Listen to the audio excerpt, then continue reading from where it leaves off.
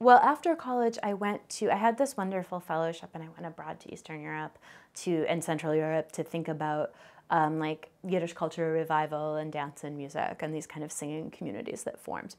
Um, and This is a Watson? a Watson Fellowship. Um, and again, like an enormous stroke of ridiculous luck to get. And so I just, I kind of, I packed up and I left for, for 12 months. And, um, you know, in doing this kind of participant observation, you also learn about song and dance. And I had never been a dancer. Um, I had I had sung most of my life in choirs, and I really enjoyed singing. My mother sings as well, um, but my parents didn't want me to do dance as a kid because what was available was.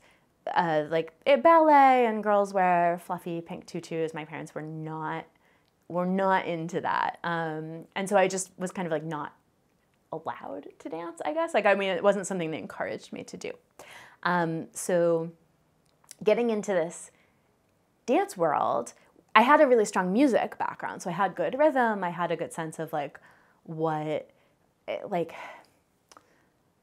I don't know. Sometimes I think people people come to dance and it's really hard for them to just kind of like hold a beat, but I actually could do that. And then so learning this whole new, this new art form and this new way to like be with other people um, and to do something that is related to Yiddish language but is not language. Um, was thrilling and so that's something i've actually really i've i've tried to keep up now that i live outside of new york where it's enormously diff- difficult to find these kind of cultural um, circles but when i was in new york i was regularly going to yiddish dance workshops and i took a dance leader training um, and did some kind of zingerai type of stuff um, and so that also became kind of a way that i a way that I related to Yiddish outside of outside of language and literature.